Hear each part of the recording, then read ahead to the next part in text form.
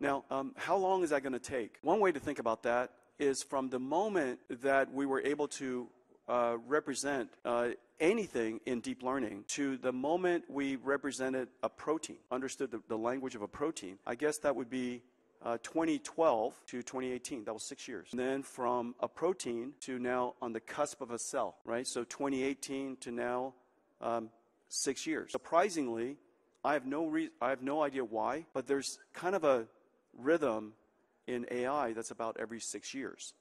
And the reason for, I think is because it takes two years to get one cycle, and most engineering takes about three cycles. So um, I wouldn't be surprised if within certainly before 2030, within this decade, that we're representing basically all cells, human organs, and we have a representation of it, a language of it. We understand the language of it, and we can we can predict, uh, we can understand, we can predict, we can generate. It Would be amazing.